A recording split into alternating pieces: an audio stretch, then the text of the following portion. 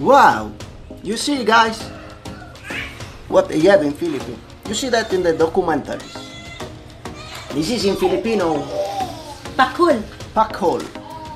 So it's very exotic fish. Papa bring this morning. Wow! It's very... How many kilo? Pila ni ka kilo pa? 2 2 kilos?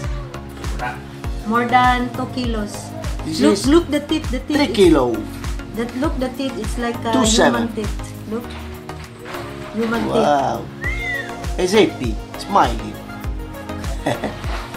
wow, very characteristic of the ocean. So in the ocean, sometimes you can see this kind of fishes. And very, there's also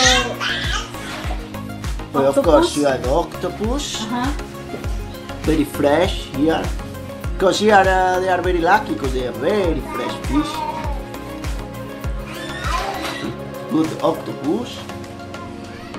and this is another kind of fish but we al- they already cut into pieces. Yes, this is of course Uh, they cut already. tuna, Uh, small Ready. tuna. very fresh. Small tuna but they cut already. When it become big, it become a tuna. Yes.